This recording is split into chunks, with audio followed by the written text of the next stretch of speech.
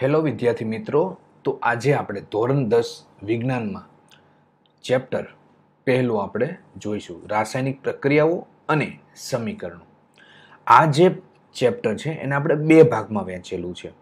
તો અહીંયા આપણે પાર્ટ એક જોઈશું પહેલાં, ભાગ એક વિશે અભ્યાસ કરીશું અને પછીના લેક્ચરમાં આપણે ભાગ બે વિશે અભ્યાસ કરીશું. તો વિદ્યાર્થી મિત્રો, ચાલો આપણે આ ચેપ્ટરની અહીં શરૂઆત કરીએ.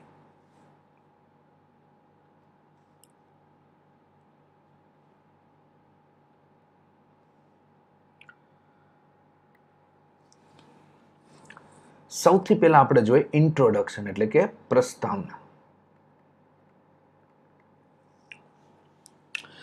તો અહીંયા આપણે પહેલા જોઈશું કે ઉનાળામાં ઓળાના તાપમાને દૂધને ખુલ્લું રાખવામાં આવે છે.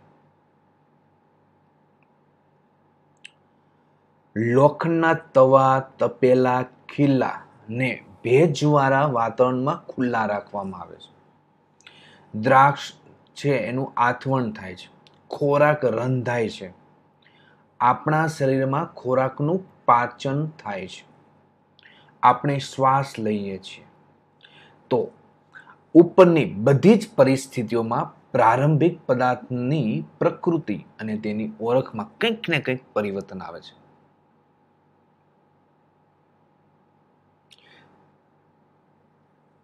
તો અહીંયા શું થયું કહેવાય? રાસાયણિક ફેરફાર. એટલે કહી શકવી કે આમાં કોઈક રાસાયણિક પ્રક્રિયા થઈ હશે. જેમ કે, આ લોખંડના અહીંયા લોખંડની ખીલ્લી બતાવેલી છે. આ ઉદાહરણમાં જુઓ, અલા, પિક્ચરમાં જુઓ, લોખંડની ખીલ્લી આપેલી છે. તો તેમાં કાટ લાગી જાય છે.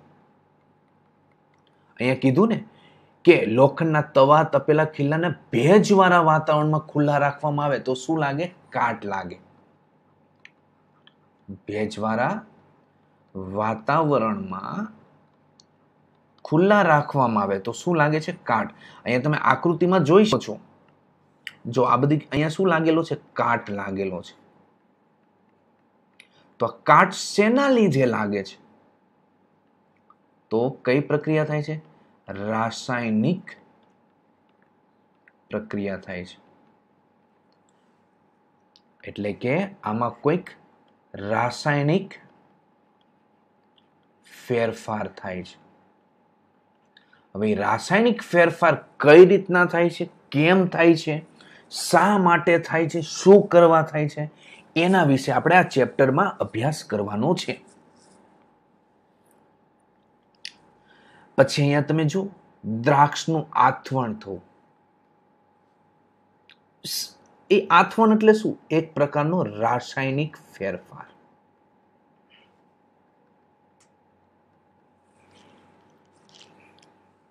જેમ કે તમે ઈડલી અથવા ઢોસા બનાવો, તો એ ખીરું જો ખીરું કહેવામાં આવે ખીરુંને તમે આથવણ આપો છો. તો આથો લાવો. તો આથો શું છે? એક પ્રકારનો રાસાયણિક ફેરફાર છે. આપણું શરીર છે, એમાં ખોરાકનું પાચન થાય છે. તો પાચન શેના લીધે થાય છે? કંઈક રાસાયણિક ફેરફારને લીધે. તો જોઈએ આ ચેપ્ટર ને આપણે આગળ અભ્યાસ કરતા જઈએ, રાસાયણિક પ્રક્રિયા કઈ રીતે થાય છે? એના વિશે આપણે ઊંડાણપૂર્વક જોઈશું. સૌથી પહેલા આપણે પ્રયોગ એક કરીએ. અહીંયા ઘણી બધી આકૃતિ આપેલી છે. તો પહેલાં તો આપણે પ્રયોગ એક કઈ રીતના કરવાનો છે એના વિશે થોડું જોઈએ. તો અહીંયા તમે આ પ્રયોગ કરો છો તો પ્રયોગશાળામાં એકલાએ પ્રયોગ કરવાનો નથી. કારણ કે આમાં અમુક રસાયણો હોય, કેવા હોય છે? સ્ટ્રોંગ હોય છે, જે તમારા શરીરને નુકસાન કરે છે. એટલે આ તમે પ્રયોગ કરો તો તમારે શિક્ષકની મદદ હોવી જરૂર છે, એની હાજરી હોવી જરૂરી છે. હવે આ પ્રયોગમાં તમારે વિદ્યાર્થીઓએ આંખોના રક્ષણ માટે ચશ્મા પહેરી લેવાના છે. હવે જોઈએ. લગભગ ત્રણથી ચાર સેમી લાંબી મેગ્નેશિયમની પટ્ટીને કાચ પેપર વડે ઘસીને શુદ્ધ કરો. હવે પેલો પ્રશ્ન કે મેગ્નેશિયમની પટ્ટી કોને કહેવાય? કેવી હોય?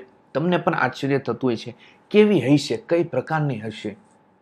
તો અહીં જો આકૃતિ બતાવેલી છે ને, એવું છે.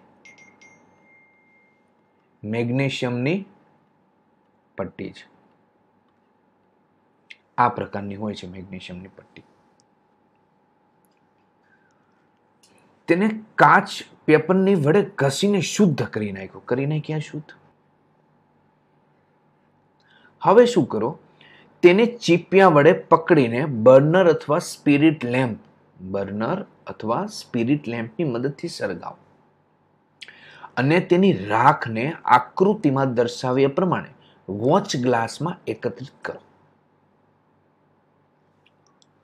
હવે અહીંયા આકૃતિનું આકૃતિમાં પ્રયોગનું એક સેટઅપ આપેલું છે, આને બર્નર કહેવામાં આવે છે. શું?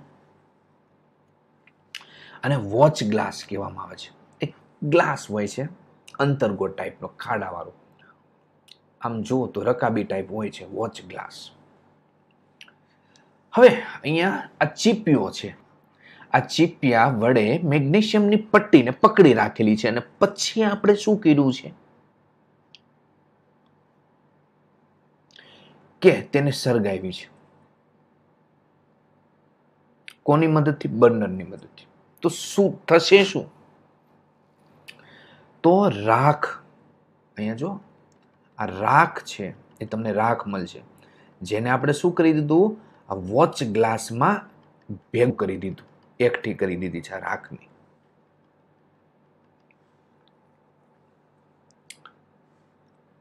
આ શું છે? રાખ. હવે મેગ્નેશિયમની પટ્ટીને તમારી આંખોથી શક્ય તેટલી દૂર રાખવાની છે. નજીક નથી રાખવાની. તો અહીં તમે શું અવલોકન કરો છો? અવલોકન શું કરો છો? જો તો અહીંયા જે રાખ મળી ને રાખ, એને શું આવે છે? મેગ્નેશિયમ ઓક્સાઇડ કહેવામાં આવે છે.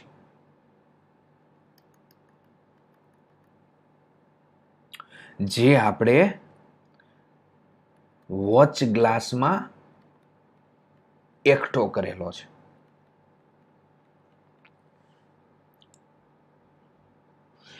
તો અહીંયા મેગ્નેશિયમની જે પટ્ટી આપણે સળગાવીએ છીએ, તો મેગ્નેશિયમની પટ્ટી જગારા મારતી, પ્રજ્વલિત, સફેદ જ્યોતથી સળગી ઉઠે.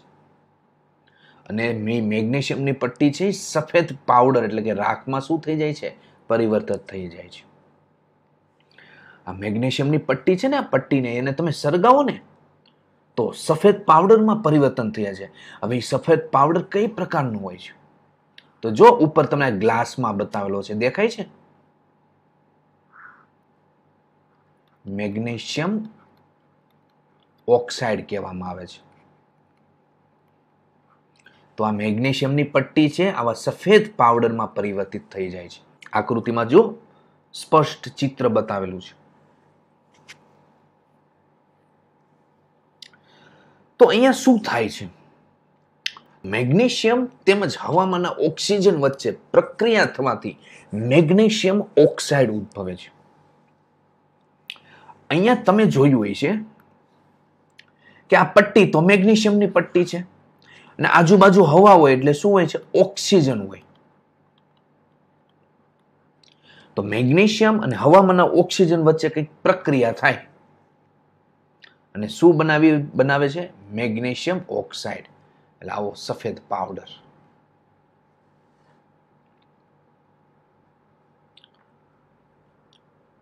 તો મેગ્નેશિયમ ઓક્સાઇડ કઈ રીતના બનાવવામાં આવે? તો અહીંયા જો આ પદ્ધતિ તમને બતાવેલી છે. હવે તમને મગજમાં સ્પષ્ટ થઈ ગયું હોય છે કે મેગ્નેશિયમની પટ્ટી કઈ પ્રકારની હોય છે, મેગ્નેશિયમ ઓક્સાઇડ કેવો હોય છે અને કઈ રીતના પ્રયોગ કરવામાં આવે છે હવે જોવી આપણે બીજો પ્રયોગ કરીએ, પ્રયોગ નંબર ટુ. એક કસનરીમાં લેડ નાઇટ્રેટનું દ્રાવણ લ્યો શું? Lead nitrate. એનું આપણે દ્રાવણ લેવાનું છે. જેનું સૂત્ર હું અહીંયા લખું ને, તો આવું આવશે. PB NO three two lead nitrate કહેવાય. તેમાં પોટેશિયમ આયોડ, આયોડાઇડનું દ્રાવણ ઉમેરો. શેનું દ્રાવણ? Potassium iodide. અહીંયા જો આ જે બીકર છે ને, એમાં શું છે? Potassium iodide. તેનું સૂત્ર શું આવશે કે આઈ તો અવલોકન કરો શું થશે શું થાય છે અવલોકન કરો તો અહીંયા ચિત્ર તો સ્પષ્ટ જ છે જેવું પોટેશિયમ આયોડાઇડનું દ્રાવણ તમે ઉમેરો છો તો કેવો કલર દેખાય છે જુઓ તો તમને કેવો કલર જોવા મળે છે પીરાશ પડતો પીરો કલર જોવા મળે છે અહીંયા.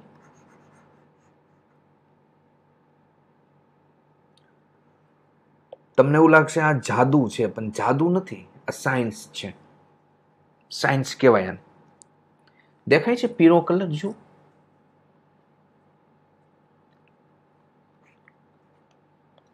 તો આવું શા માટે થાય છે? તો આ નીચેના સૂત્ર પ્રમાણેની પ્રક્રિયા થાય છે.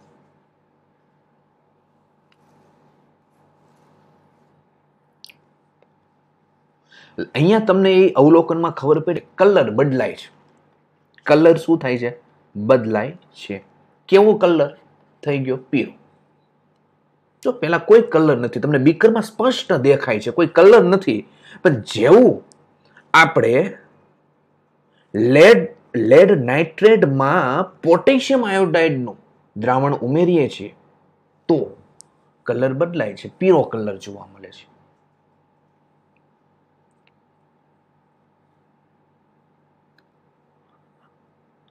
તો જોઈએ. આપણે આગળ જોઈએ.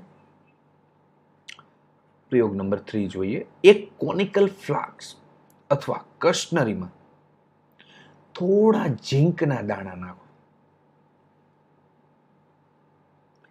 કોનિકલ ફ્લાસ્ક કોને કહેવાય? તો અહીંયા જે આકાર જોવા મળે છે ને, આ પ્રકારનો આકાર, એને શું કહેવામાં આવશે? કોનિકલ ફ્લાસ્ક ને આ ટાઈપનો આકાર છે એને શું કહેવામાં આવે છે કસનરી કહેવામાં આવે છે.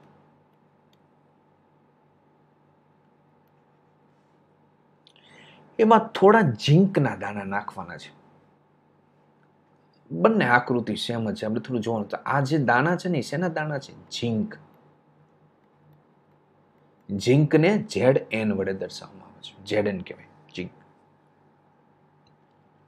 હવે તેમાં મંદ હાઇડ્રોક્લોરિક એસિડ અથવા મંદ સલ્ફ્યુરિક એસિડ ઉમેરો. શું ઉમેરવાનું છે? મંદ હાઇડ્રોક્લોરિક એસિડ અથવા મંદ સલ્ફ્યુરિક એસિડ તેની અંદર નાખવાનું છે. અહીંયા જુઓ, આ રીતના નાખી દીધું, ઉમેરી દીધું. અહીંયા એસિડ છે એટલે ખાસ ધ્યાન રાખવાનું છે તો તમને ઝીંકના દાનાની ફરતે શું કંઈક થઈ રહ્યું હોય તેવું લાગે છે? શું દેખાય છે? ટેક્સ્ટ બુકમાં તો આકૃતિમાં કશું નહીં તમને દેખાય, પણ અહીંયા મેં રિયલ આકૃતિ બતાવી છે. શું દેખાય છે? જુઓ તો તમે.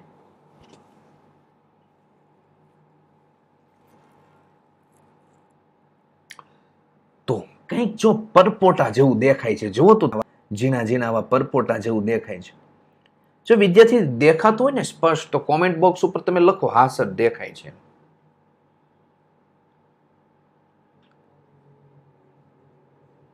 તો તે શું છે? તે બીજું કાંઈ નથી. હાઇડ્રોજન વાયુ છે. કયો વાયુ છે? H two hydrogen. કયો વાયુ છે? હાઇડ્રોજન વાયુ.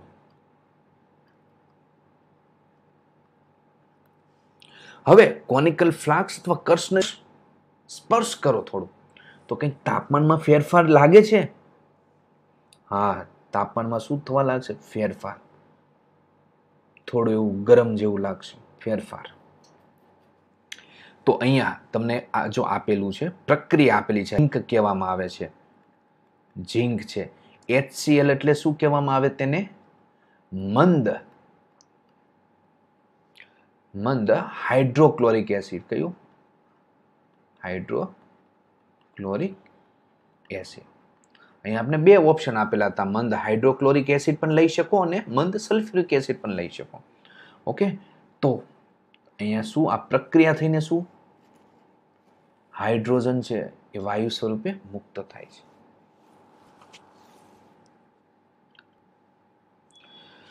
તો અહીંયા આપણે ત્રણ પ્રક્રિયા કરી. કેટલી? ત્રણ.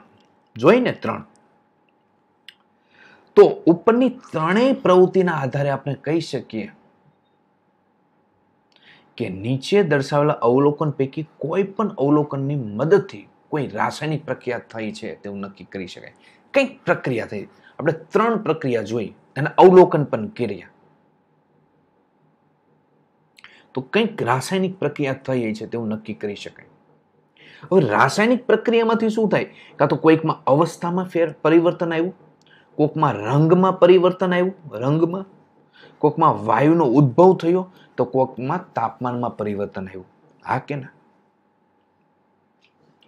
આપણે પહેલેથી પાછું જોઈ લઈએ શેમાં કયો આવ્યું છે. તો પ્રવૃત્તિ એક જો અવસ્થામાં પરિવર્તન કહેવાય શું? અહીંયા હું રેડ પેન યુઝ કરું છું. અવસ્થામાં ફેરફાર. છે ને? પ્લેટ હતી, એમાંથી પાવડર થઈ ગયો. તો અવસ્થામાં થયો ફેરફાર કહેવાય. બીજામાં જુઓ, કલરમાં ફેરફાર. શેમાં? કલર બદલાય છે એટલે એમાં ફેરફાર થયો. ત્રીજામાં તમે જુઓ, તો વાયુ ઉત્પન્ન થાય છે, તાપમાનમાં ફેરફાર થાય છે. ઓકે? તો આ બધા પરિવર્તનો પરિવર્તનો શેના લીધે થાય છે? રાસાયણિક પ્રક્રિયાને લીધે થાય છે. તો આ સમજ પડી ગઈ કે રાસાયણિક પ્રક્રિયા કોને કહેવાય, શું છે, એમાં કયા કયા પરિવર્તન થાય હવે જોઈએ રાસાયણિક સમીકરણો કેમિકલ ઇક્વેશન શું છે? તો આગળ બધી પ્રવૃત્તિનું વર્ણન આ મુજબ થઈ શકે છે. જ્યારે મેગ્નેશિયમની પટ્ટી હવામાં સળગે, ત્યારે શું? મેગ્નેશિયમ ઓક્સાઇડમાં રૂપાંતરિત થાય છે. જે આગળ જોઈ ગયા આપણે. તો આ રાસાયણિક પ્રક્રિયાનું વાક્ય સ્વરૂપ વર્ણન ખૂબ લાંબુ થઈ જાય છે. જો તો એને કઈ રીતના લખાય? તો એના માટે શાબ્દિક સમીકરણના સ્વરૂપમાં લખવામાં આવે છે. કયા? કઈ રીતના? તો અહીંયા જો હું બોક્સ બનાવી દઉં છું. મેગ્નેશિયમ પ્લસ ઓક્સિજન પછી મેગ્નેશિયમ ઓક્સાઇડ. આ મેગ્નેશિયમ ને ઓક્સિજન જે વસ્તુ છે એને શું કે પ્રક્રિયકો કહેવામાં આવે છે. શું? પ્રક્રિયકો. અહીંયા જો આ મેગ્નેશિયમની પટ્ટી છે ને બીજું શું હોય છે? ઓક્સિજન. તો આ બધાને શું નામ આપ્યું આપણે? પ્રક્રિયકો. તમને શું મળે છે? Magnesium oxide. આ છે મેગ્નેશિયમ ઓક્સાઇડ. તો આને શું કહેવામાં આવશે? નિપજ. પ્રક્રિયા દરમિયાન જે આપને મળે, પરિણામ જે મળે, એને શું કહેવાય? નિપજ. તો થઈ ગયું એકદમ ટૂંકમાં. તો જે આપણે અગાઉ પ્રક્રિયા જોઈ હતી એમાં એટલે કે પ્રક્રિયા એક પોઈન્ટ એકમાં દર્શાવેલા અને રાસાયણિક ફેરફાર અનુભવતા પદાર્થો. મેગ્નેશિયમ અને ઓક્સિજન છે, જેને પ્રક્રિયકો કહેવામાં આવે છે. અને નવા જે ઉત્પન્ન થતો જે ભાગ છે, મેગ્નેશિયમ ઓક્સાઇડ, જેને નીપજ કહેવામાં આવે છે. હવે અહીંયા તીરની નિશાની શું બતાવે. તો પ્રક્રિયકો છે, એનું નિપજમાં રૂપાંતર એવું બતાવે છે તીરની નિશાની.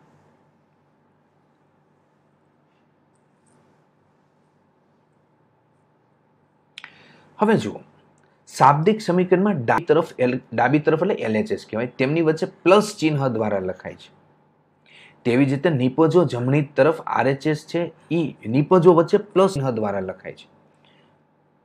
છે અહીંયા આ બે પ્રક્રિયકો છે, તો મેગ્નેશિયમ પ્લસ ઓક્સિજન એવું લખાય. યાદ રાખજો. અહીંયા બે છે, મેગ્નેશિયમ છે ને ઓક્સિજન છે, તો એની વચ્ચે પ્લસનું ચિહ્ન લખાય. પણ નિપજમાં જુઓ તો ખાલી મેગ્નેશિયમ ઓક્સાઇડ જ છે, એક જ છે, એટલે જો બે હોત તો અહીંયા પણ શું? પ્લસનું ચિહ્ન કરીને લખાય. તીરનો અગ્રભાગ, એરો, નિપોજો તરફ હોય છે. જો અહીંયા આને એરો કહેવામાં આવે છે, અગ્રભાગ. આ જે તીર હોય ને, આને અગ્રભાગ. એ હંમેશા કોની તરફ હોય છે? નિપજ તરફ હોય. કોની તરફ? નિપજ.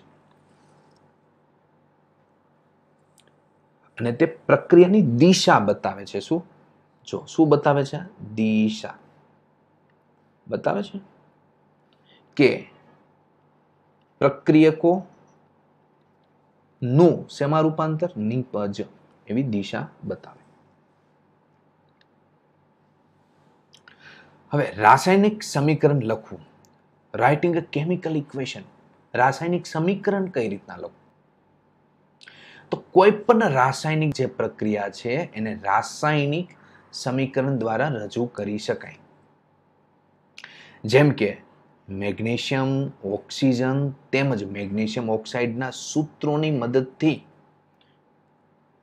જે ઉપરની જે પ્રક્રિયા છે, એને કયા શાબ્દિક સમીકરણમાં નીચે પ્રમાણે લખી શકાય. તો અહીંયા મેગ્નેશિયમ છે ને શેના વડે લખાય? એમજી ઓક્સિજન છે ને ઓ ટુ. બે હોવાથી વચ્ચે પ્લસનું ચિહ્ન છે. એનું શેમાં રૂપાંતર થયું નિપજમાં શેમાં નિપજમાં. ને નિપજને શું કહે? Magnesium oxide. તો આને શાબ્દિક સમીકરણ, સમીકરણના સ્વરૂપમાં આપણે લઈ હવે જુઓ, આ જે તીર છે ને તીર, એની ડાબી તરફ, આ જે ભાગ છે ને એને ડાબુ એલએચએસ કહેવાય, ડાબી તરફ. ને આ ભાગ છે એને આરએચએસ કહેવાય. તો ડાબી તરફ, તીરની નિશાનીની ડાબી તરફ અને જમણી તરફ રહેલા દરેક તત્વના પરમાણુની સંખ્યા ગણો અને પછી એની સરખામણી કરો. પરમાણુની સંખ્યા ગણવાની છે. શું બંને તરફ દરેક દરેક તત્વના પરમાણુની સંખ્યા સમાન છે કે નહીં? ગણો તો પરમાણુની સંખ્યા અહીંયા એમજી કેટલા છે? અહીંયા એલએચએસ લખી નાખવું અને અહીંયા આરએચએસ લખી નાખો. એમજી કેટલા છે? તો એક. ઓક્સિજન કેટલા છે? બે. અહીંયા એમજી કેટલા છે? આરએચએસ બાજુ એક. ઓક્સિજન એક. જુઓ તો. અહીંયા એમજી એક, ઓક્સિજનના બે છે પરમાણુ. અહીંયા જમણી તરફ એમજીનો એક ને ઓક્સિજનનો એક. તો અહીંયા ટોટલ ત્રણ થાય છે અને અહીંયા ટોટલ બે થાય છે. Not equal three is not equal to ત્રણ ને બે સમાન નથી. તો આ સમીકરણને શું કહેવામાં આવશે? અસમતોલિત કહેવામાં આવે. સમીકરણ અસમતોલિત કહી શકાય. કારણ કે સમીકરણની બંને તરફના દર સમાન નથી. તો આ જે સમીકરણ છે, એને પ્રક્રિયા માટેનું માર્ગ માળખાકીય રાસાયણિક સમીકરણ કહેવાય. રાસાયણિક સમીકરણ કહેવામાં આવે છે. તો આ જે સમીકરણ છે, એ કયું સમીકરણ છે? કે મેગ્નેશિયમને હવામાં સળગાવવાની પ્રક્રિયા માટેનું માળખાકીય સમીકરણ કહેવાય. કયું સમીકરણ? તો MG plus O two plus MGO અને માળખાકીય સમીકરણ કહી શકો.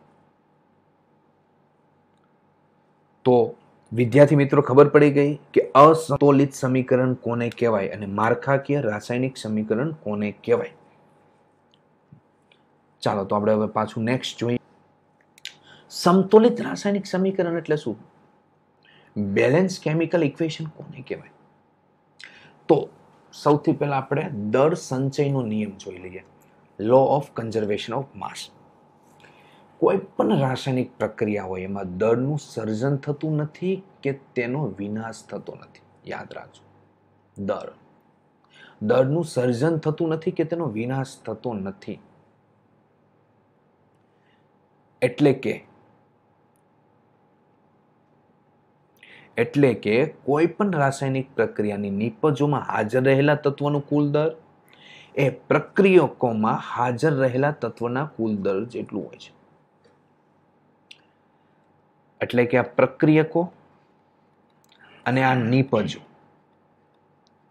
તો પ્રક્રિયકોમાં હાજર રહેલું દર અને નિપજોમાં હાજર રહેલું દર હંમેશા બંને કેવા હોય? સમાન હોય. પ્રક્રિયામાં હાજર, પ્રક્રિયકોમાં હાજરેલું દર અને નિપજોમાં હાજર રહેલું દર હંમેશા સમાન હોય.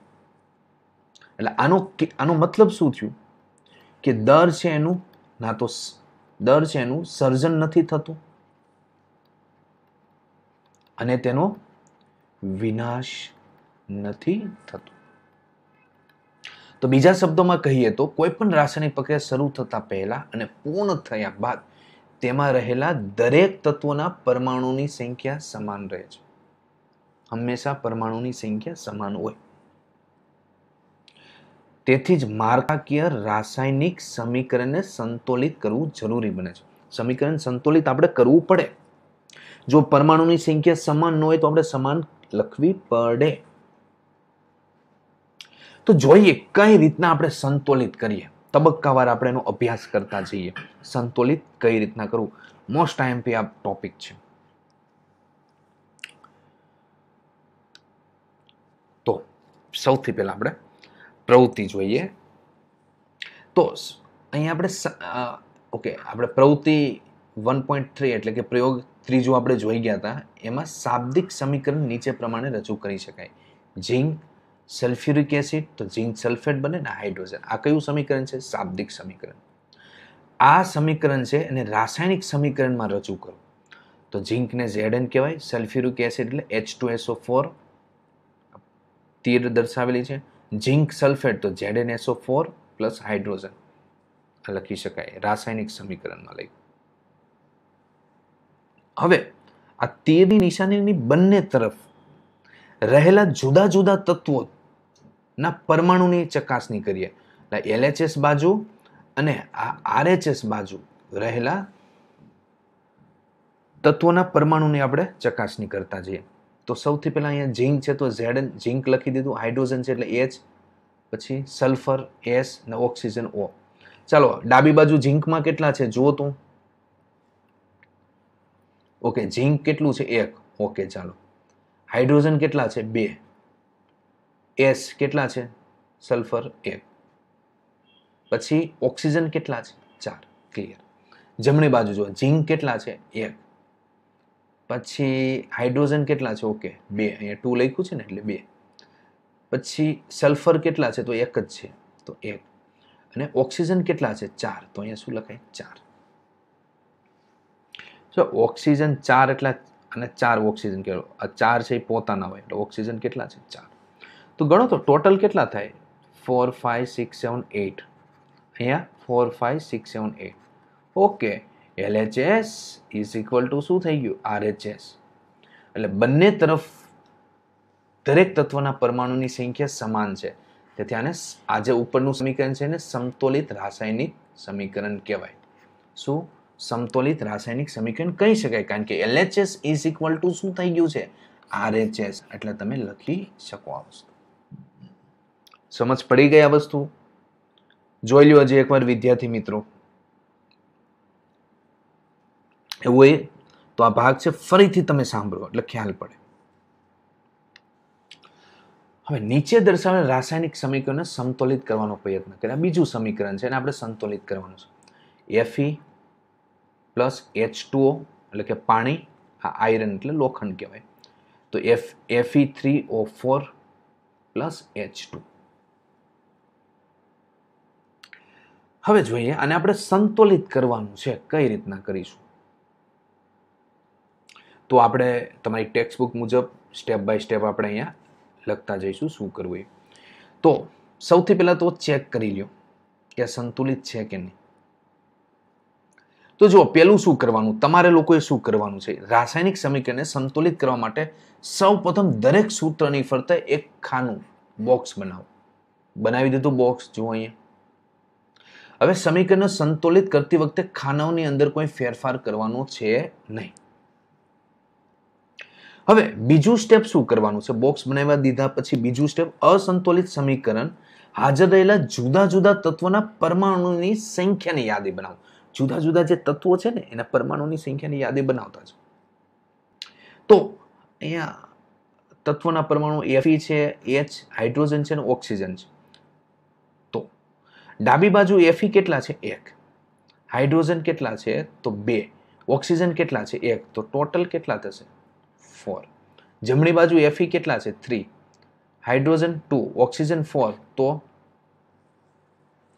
નાઇન ડાબી બાજુ ચાર, જમણી બાજુ નવ. સંતુલિત કહેવાય કે નો કહેવાય? નો કહેવાય. LHS is not equal to RHS LHS is not equal to RHS એટલે સંતુલિત કરી શકાય નહીં. એટલે તો આપણે શું કરવાનું છે? સમ સમતુલિત કરવાનો પ્રયત્ન કરવાનો છે. જોઈએ હવે, સોપાન થ્રીમાં શું છે? સરળતા ખાતર સૌથી વધુ પરમાણુ ધરાવતા સંયોજનોના સમતોલનની શરૂઆત કરો. સૌથી વધુ જે પરમાણુ ધરાવતો હોય ત્યાંથી શરૂઆત કરવાનું છે. તો સૌથી વધુ કોણ ધરાવે છે? કેટલા? ચાર. ઓક્સિજન. થી શરૂઆત કરવાની. તે પછી પ્રક્રિયક હોય કે નિપે- નિપજ હોય, ગમે તે હોય, સૌથી વધુ જે પરમાણુ ધરાવતો હોય, ત્યાંથી શરૂઆત કરવાની. તે સંયોજનમાં સૌથી વધુ પરમાણુઓ ધરાવતું તત્વ પસંદ કરો. હવે આ સિદ્ધાંત પ્રમાણે આપણે એફી થ્રી ઓ ફોર અને તેમાં રહેલા ઓક્સિજન તત્વની પસંદ કરીશું. કારણ કે સૌથી વધુ ઓક્સિજનના પરમાણુની સંખ્યા છે ચાર. તો એફી થ્રી ઓ ફોરને પસંદ કરીશું ને એમાં કોને પસંદ કરવાનું છે આપણે? ઓક્સિજન. કેટલા ઓક્સિજન છે? ચાર. જે સૌથી કેવા છે? વધુ છે. હવે તમે જોઈ શકશો જમણી તરફ ઓક્સિજનના ચાર પરમાણુ છે. જ્યારે ડાબી તરફ ઓક્સિજનના કેટલા છે? એક જ પરમાણુ છે. જમણી તરફ ઓક્સિજનના ચાર પરમાણુ છે, તો ડાબી તરફ ફક્ત એક જ છે. તો ઓક્સિજન પરમાણુને સમતોલિત કરવા માટે શું કરશું? તો હવે ખાલી ઓક્સિજન પરમાણુ ત્યાં જ જુઓ, ઓક્સિજન પરમાણુ છે એમાં જ જોવાનું છે. શરૂઆતમાં શરૂઆતમાં જમ, શરૂઆતમાં જુઓ, ડાબી તરફ ઓક્સિજન કેટલું છે? એક છે. એચ ટુઓમાં કેટલા છે? એક જ છે ખાલી. ને નિપજોમાં જમણી તરફ કેટલા છે? ઓક્સિજન ચાર છે. છે ચાર? હવે એને સંતુલિત કરવું હોય તો શું કરવું પડે એકને કેટલા વડે ગુણવું પડે? ચાર વડે. તો જુઓ, અહીંયા જુઓ આ સમીકરણમાં. એચ છે ને ચાર વડે અહીંયા ગુણી નાખ્યું. છે? તો આમાં ઓક્સિજન કેટલા થઈ ગયા? ચાર. કેટલા થઈ ગયા? ઓક્સિજન ચાર થઈ ગયા. પરંતુ વિદ્યાર્થી મિત્રો, એક વસ્તુ યાદ રાખજો. ચાર આ રીતના તમે ગુણ્યા છે, તો આવું ન લખી શકાય. ક્યારેય આવું નહીં આ રીતના નહીં લખતા કે ચાર દો આઠ ને તો કેટલા થાય? આમ એચ ટુ ને ઓ ફોર અથવા તો H two H two O અહીંયા ફોર આ વસ્તુ લખી શકાય નહીં. નિયમથી વિરુદ્ધ છે. ક્લિયર હવે. સોપાન ચાર જોઈ એફ અને એચ પરમાણુ હજી પણ સંતુલિત નથી. તો આ તત્વો પૈકી કોઈ એકને પસંદ કરીને આગળ વધીએ? તો સૌ હાઇડ્રોજનને સમતોલિત કરીએ, કોને? હાઇડ્રોજન પરમાણુ. અહીંયા જુઓ તો હાઇડ્રોજન કેટલા છે? એટ થતા હતા. આગળની પેમાં જોઈએ. હાઇડ્રોજન અહીંયા બે છે ને હાઇડ્રોજન ચાર દુ આઠ આઠ છે. તો હવે કરીએ આપણે. તો આપણે અહીંયા ડાબી તરફ ટોટલ હાઇડ્રોજન કેટલા છે શરૂઆતમાં? આઠ. તો જમણી તરફ કેટલા છે હાઇડ્રોજન? બે છે. નિપજમાં બે જ છે. તો મારે આઠ કરવા માટે શું કરવું પડે? ચાર વડે મલ્ટીપ્લાય કરો એટલે આઠ થઈ જાય. તો હાઇડ્રોજન શું થઈ ગયા? સંતુલિત થઈ ગયા. જો, ટોટલ હાઇડ્રોજન કેટલા છે? એટ ને અહીંયા ચાર દુ આઠ. ટોટલ હાઇડ્રોજન એટ ઓક્સિજનની વાત કરું તો ઓક્સિજન કેટલા છે? ચાર. ને અહીંયા ઓક્સિજન કેટલા થઈ ગયા? ચાર. હવે વૈધું એફી એફીની વારે લઈએ એફ આયન તો સોપાન પાંચ જોઈએ. તો હજી ઉપરનું સમીકરણ તપાસો.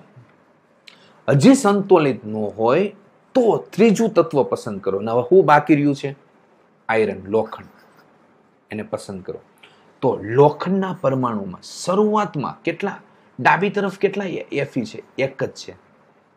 જમણી તરફ કેટલા એફી છે? જમણી તરફ કેટલા એફી છે? ત્રણ. કેટલા છે? ત્રણ. લખ્યું. સૂત્રમાં અહીંયા ત્રણ છે તો ત્રણ ને એક છે તો એક. હવે સમતોલિત કરવા માટે શેના વડે ગુણવું પડે ને ત્રણ વડે? અહીંયા કંઈ ગુણવાની કંઈ જરૂર છે નહીં. તો ગુણી નાખો ત્રણ વડે. એટલે એફી ને સંતુલિત કરવા માટે ડાબી તરફ ત્રણ વડે ગુણી નાખ્યા એફીના એફી કેટલા થઈ ગયા? ત્રણ. ને એફી ઓલરેડી થ્રી ટુ છે જ. હવે જોઈએ. તો હવે જો આપણે બધાએ પતી ગયું, પેલા ઓક્સિજન લીધું, પછી હાઇડ્રોજન લીધું ને એફી લીધું. હવે આપણે છેલ્લે શું જોઈએ? સંતુલિત સમીકરણની ખરાઈ કરવા માટે આપણે સમીકરણની બંને તરફ રહેલા દરેક તત્વના પરમાણુની ગણતરી કરો. ગણતરી કરતા જાઓ. તો અહીંયા જો એફઈ કેટલા છે? ત્રણ. એલએચએસ લઈ લો અને આ બાજુ આરએચએસ લઈ લો. અહીંયા એફઈ કેટલા છે? ત્રણ. હાઇડ્રોજનની વાત કરીએ એચ કેટલા છે? ચાર દુ આઠ. તો આઠ જમણી તરફ આઠ. અહીંયા ઓક્સિજન કેટલા છે? ચાર. જમણી તરફ ઓક્સિજન કેટલા? ચાર. તો બંને કેવા થઈ ગયા? સમાન. એટલે કે આ સમીકરણ શું કહી શકાય? સમતોલિત સમીકરણ કહી શકાય. તો રાસાયણિક સમીકરણને સંતુલિત કરવાની આ પદ્ધતિને શું કે હીટ એન્ડ ટ્રાયલ પદ્ધતિ કહેવામાં આવે છે. ઓકે કારણ કે આપણે પ્રયત્નો દ્વારા નાનામાં નાના પૂર્ણાંક, સહગુણાંક વડે સમીકરણને સંતુલિત કરવાનો પ્રયત્ન હીટ એન્ડ એટલે એને હીટ એન્ડ ટ્રાયલ કહેવાય. કિંમત મૂકો. ટ્રાય કરો. કદાચ રોંગ પડે તો ફરીથી પસંદ કરો. કિંમત મૂકો. ટ્રાય કરો એટલે હીટ એન્ડ ટ્રાયલ પદ્ધતિ કહી શકાય. હવે, સોપાન નંબર સાત એમાં શું કહે છે? ભૌતિક અવસ્થાઓની સંજ્ઞાઓ લખવી. ભૌતિક અવસ્થાઓની સંજ્ઞાઓ લખવી એટલે? તો જો ભૌતિક અવસ્થાઓ. ભૌતિક અવસ્થા એટલે ઘન છે, પ્રવાહી છે કે વાયુ છે, શું છે? એ લખવાનું છે. તો ઉપરના સમીકરણમાં જો આગળના સમીકરણ. પ્રક્રિયક અને નિપજમાં કોઈ ભૌતિક અવસ્થા વિશે માહિતી નથી આપી. એટલે કે કયા સ્વરૂપમાં છે? પ્રવાહી, વાયુ કે ઘન? કંઈ માહિતી આપી નથી. તો હવે જોઈએ, રાસાયણિક સમીકરણને વધુ માહિતીપ્રદ બનાવવા માટે પ્રક્રિયક અને નિપજના રાસાયણિક સૂત્રોની સાથે તેઓને ભૌતિક અવસ્થાઓનો પણ ઉલ્લેખ કરવામાં આવશે કઈ અવસ્થા? ભૌતિક અવસ્થાઓનો. એટલે કે પ્રક્રિયકો અને નિપજોની વાયુરૂપ અવસ્થા છે, કે પ્રવાહી છે, કે જલીય છે, કે ઘન અવસ્થાઓ છે. એ જોવાનું છે. ને જો વાયુરૂપ અવસ્થા હોય તો એને શેના વડે? સ્મોલ જી કારણ કે વાયુને શું કહેવાય? ગેસ કહેવામાં આવે ને ગેસ ઉપરથી જી પ્રવાહી છે તો લિક્વિડના એલ. પછી જલ્ય છે તો એ ક્યુ વડે. અહીંયા જુઓ. જલ્ય એ ક્યુ અને ઘન અવસ્થા હોય તો એસ સોલિડ ઉપરથી એસ આ રીતના એને સંકેતોમાં લખી શકાય. તો જલ્ય કોને કહેવામાં આવે? તો પાણીમાં બનાવેલા દ્રાવણમાં પ્રક્રિયક અથવા નિપજ હાજર હોય તેને શું? જલ્ય શબ્દ યુઝ થાય. પાણીમાં બનાવેલું દ્રાવણમાં પ્રક્રિયક અથવા નિપજ બંને હાજર હોય તો તેને જલ્ય કહેવામાં આવે છે. આ સંજ્ઞા તરીકે યુઝ થાય.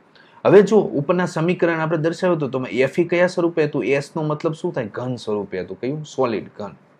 એચ ટુ હશે કયા સ્વરૂપે હતું? જી એટલે વાયુ સ્વરૂપે હતું gas F E three O four એ કયા સ્વરૂપે હતું? એસ એટલે ઘન સ્વરૂપે હતું. ને એચ ટુ કયા સ્વરૂપે હતું? વાયુ સ્વરૂપે. તો એચ ટુની સાથે જી સંજ્ઞાનો ઉપયોગ થાય છે એટલે કે, એટલે એનો મતલબ શું થાય? કે પાણી છે વાયુ એટલે કયા? વરાળ સ્વરૂપે હતું. બાષ્પ સ્વરૂપે. એટલે જો એવું જરૂર નથી કે બધા સમીકરણમાં ભૌતિક અવસ્થાનો ઉલ્લેખ કરવો પડે. પણ જ્યાં સુધી જરૂર ન હોય, ત્યાં સુધી રાસાયણિક સમીકરણમાં ભૌતિક અવસ્થાનો સમાવેશ કરવામાં આવતો નથી. જરૂર હોય તો એનો સમાવેશ કરવાનો. તો કેટલીક વખત પ્રક્રિયા માટે, પ્રક્રિયા પરિસ્થિતિઓ જેવી કે તાપમાન દબાણ, ઉદ્દીપક વગેરે સમીકરણમાં તીરની નિશાનીની ઉપર અને અથવા નીચે તરફ દર્શાવવામાં આવે છે. ઘણી તમે જો પ્રક્રિયા જોયું એમાં તાપમાન દર્શાવે, દબાણ, ઉદ્દીપક વગેરે દર્શાવેલું હોય છે. તીરની નિશાનીની ઉપર અને નીચે. જેમ કે જો આ ઉદાહરણમાં થ્રી ફોર્ટી ત્રણસો ચાલીસ વાતાવરણ દબાણ છે ઉપર, અહીંયા જો સૂર્યપ્રકાશ ક્લોરોફિલ છે બતાવેલું છે. તીરની ઉપર નીચે દબાવેલું છે. ઓકે? તો આ પ્રક્રિયા પરિસ્થિતિઓ દર્શાવે છે. અને અગાઉ જોઈએ ને આપણે શું જોયું? ભૌતિક અવસ્થાઓ દર્શાવેલી છે. તો વિદ્યાર્થી મિત્રો, અહીંયા આ ચેપ્ટરનો ભાગ એક પૂરો થાય છે. હવે પછી આપણે શરૂ કરવાના છે ભાગ બે. તો ભાગ એકમાં જો તમને કાંઈ કન્ફ્યુઝન હોય, કંઈ ડાઉટ હોય તો કોમેન્ટ બોક્સમાં લખીને મોકલો. તો તેનો અમે વીડિયો લેક્ચર પાછા બનાવીને મોકલીશું. તો હવે પછી આપણે શરૂઆત કરીએ ભાગ બે. તે પણ ખૂબ સરસ મજાનો ભાગ છે. અહીંયા આપણે શું જોયું કે રાસાયણિક સમીકરણ કઈ રીતના સંતુલિત કરવું? એના વિશે અભ્યાસ કર્યો. હવે નેક્સ્ટ ભાગમાં, ભાગ બે છે.